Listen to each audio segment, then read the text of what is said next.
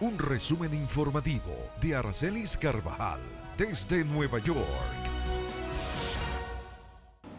Saludos amigos, nueva vez con ustedes en Buena Noche, una entrega más. Vamos a iniciar, señores, con una panorámica de lo que fue un evento histórico las elecciones primarias en Nueva York, donde muchos dominicanos compitieron, donde muchos dominicanos celebran, aunque todavía hay que decir que el conteo se extiende, porque señores, hasta el 5 de julio se estarán contando los votos, sobre todo aquellos votos por correo, porque la Junta Central Electoral aquí en Nueva York estará recibiendo las boletas hasta el 5 de julio y luego de ahí se, sabrá quiénes son los ganadores. Sin embargo, ya muchos celebran, porque ustedes saben, hay una encuesta de urna que no falla, de verdad que no.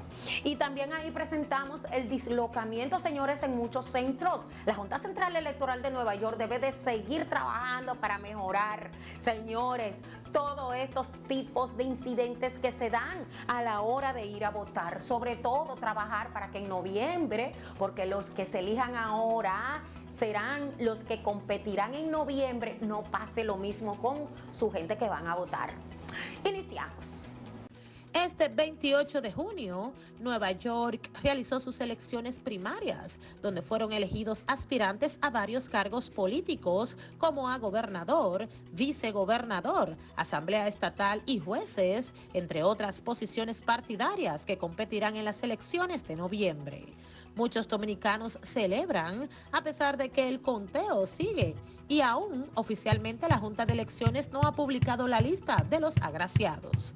La realidad es que se dieron las primarias con algunos inconvenientes, donde en muchos centros algunas personas no pudieron votar porque no aparecieron y esperan que esto se corrija para las votaciones de noviembre, donde los que resulten elegidos en estas primarias serán los candidatos oficiales en las elecciones generales de noviembre.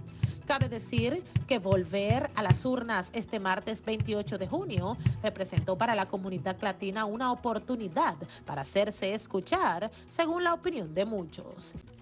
Críticas en redes sociales y medios de comunicación han surgido luego que el Departamento de Estado de los Estados Unidos aumentara nueva vez el nivel de alerta para que sus ciudadanos que se proponen viajar a República Dominicana sean cautelosos por el aumento del COVID-19 y la violencia. Afirma este departamento que en la República Dominicana nueva vez el COVID-19 ha ido en aumento y para muchos dominicanos es una acusación injusta por entender que su país ha sido uno de los que mejor ha controlado las infecciones por el mal que afecta al mundo y donde Estados Unidos figura entre los más afectados. También se cuestiona a República Dominicana por altos niveles de inseguridad, pero para muchos quisqueyanos dicen que además de que la violencia se da en todas partes, pero que en comparación con Estados Unidos, República Dominicana le queda pequeño, porque a juicio de ciudadanos que comentan, Estados Unidos registra cada día más violencia, sobre todo armada. La realidad es que en el portal del Departamento de Estado está la alerta para que a la hora de viajar a República Dominicana tengan mayor preocupación por el COVID-19 y por la delincuencia, incluidos los robos a mano armada, los homicidios y las agresiones sexuales. Cabe también decir que muchos quisqueyanos han insistido en que estas advertencias no deben detener a los turistas porque ningún país cuida más a sus visitantes que la República Dominicana país, a opinión de muchos, que aunque no escapa a la violencia callejera, ha sabido proteger a sus visitantes con un cuerpo de policía turístico profesional, el sistema 911 y una concentración de recursos en las áreas turísticas. El Consulado de la República Dominicana entrega un reconocimiento al profesional de la medicina Ramón Talat, un líder comunitario que por décadas ha aportado a su comunidad, sobre todo los más necesitados. Nos place reconocerle como un ciudadano destacado que pone en alto a la República Dominicana. En Nueva York, un servidor del consulado de Nueva York.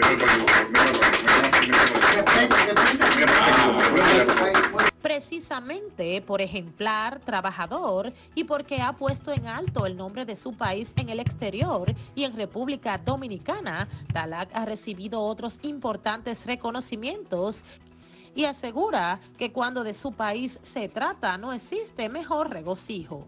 La realidad es que todos los dominicanos en la diáspora reconocen y valoran la trayectoria del doctor Talad, a quien califican del mejor en su área, merecedor de ser reconocido y sobre todo un reconocimiento de su país, del actual gobierno que encabeza Luis Abinader. Recibo el nombre de todos los hombres y mujeres que representan a Somos, pero primero dar las gracias todopoderoso que, que no ha, el Señor que, que nos ha permitido servir.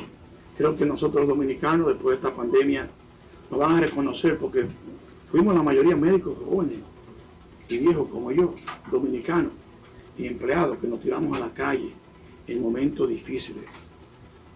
Que es bien difícil eh, las cosas que uno tiene que vivir. Nosotros disminuimos un 20% los casos de diabéticos que tenían que tener diálisis y un 15% la, las amputaciones. ¿Qué significa para el gobierno dinero?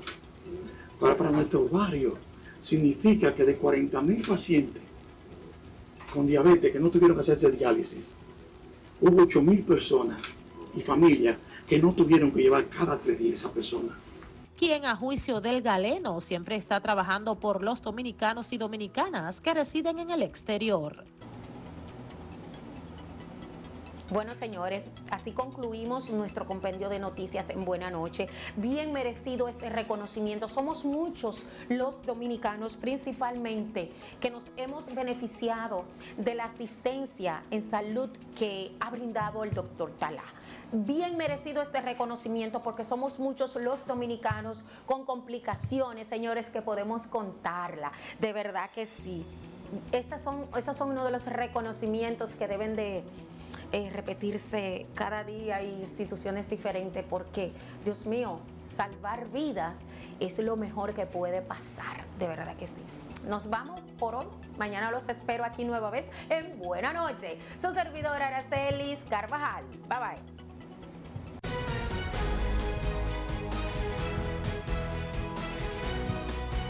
En Buena Noche, un resumen informativo de Aracelis Carvajal desde Nueva York.